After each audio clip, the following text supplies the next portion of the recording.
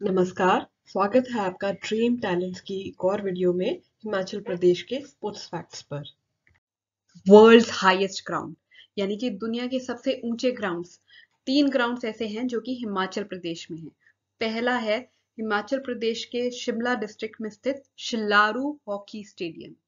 यहाँ पे देश भर के हॉकी खिलाड़ी प्रैक्टिस करने आते हैं। और दूसरा है हिमाचल प्रदेश के धर्मशाला में स्थित cricket stadium.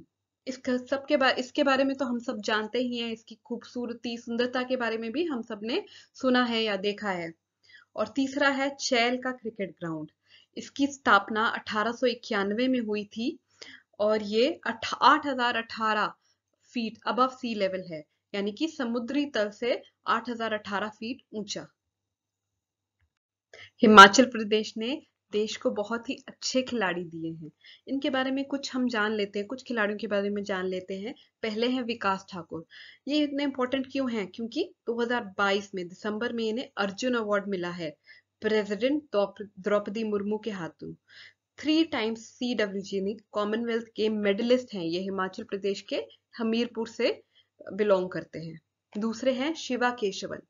Six time Olympian है ये। भारत के पहले खिलाड़ी हैं जिन्होंने ल्यू ल्यू के गेम होती है विंटर ओलंपिक्स में, वहाँ कम्पीट कम्पीट किया है।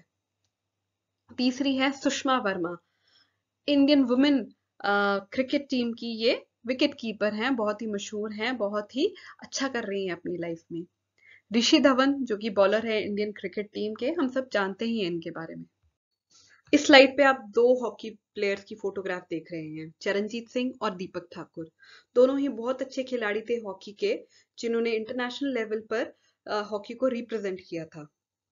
चरणजीत सिंह, ये 1964 में इंडियन हॉकी टीम के कैप्टन थे।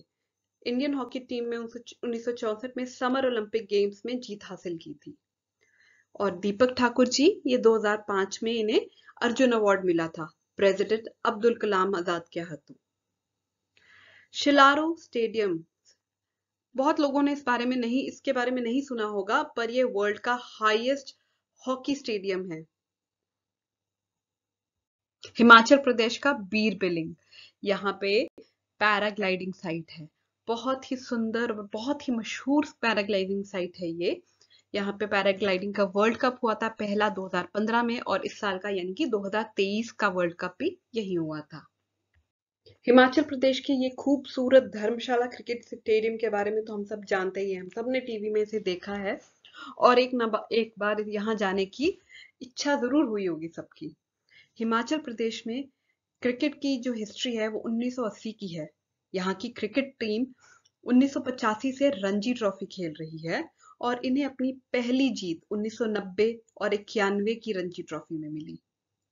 हिमाचल प्रदेश क्रिकेट एसोसिएशन धर्मशाला में है। यहाँ पे कई इंटरनेशनल मैचेस हो चुके हैं और इस बार की यानी कि 2023 के वर्ल्ड कप क्रिकेट की पाँच मैचेस यहाँ होना निश्चित है। अच्छा फुटबॉल फुटबॉल हिमाचल में डिस्ट्रिक्ट लेवल पे ही खेला जाया करता था।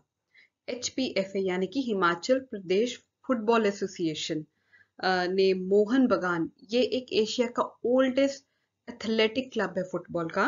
इनसे इन्होंने टाई अप किया है ताकि उन्हें टेक्निकल इनपुट्स और अदर सपोर्ट्स दूसरी सपोर्ट्स फुटबॉल को लेकर हिमाचल प्रदेश फुटबॉल एसोसिएशन को मिल सके। एशिया की सिर्फ़ और सिर्फ़ एक natural ice skating rink Shimla में है। यहाँ पे 2009 से इंटरनेशनल आइस हॉकी टूर्नामेंट्स हो रहे हैं। हिमाचल प्रदेश अपने गोल्फ कोर्सेज के लिए भी बहुत मशहूर है।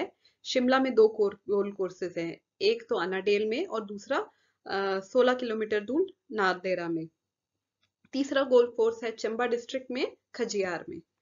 ये बहुत ही बहुत ही सुंदर एरियाज़ हैं तीनों गोल्फ कोर्सेज के ब्रिटिशर के जमाने से चले आ रहे हैं। गोल्फ कोर्स जो नालदेरा का है, वो लॉर्ड कर्जन द्वारा बनवाया गया था 1903 में।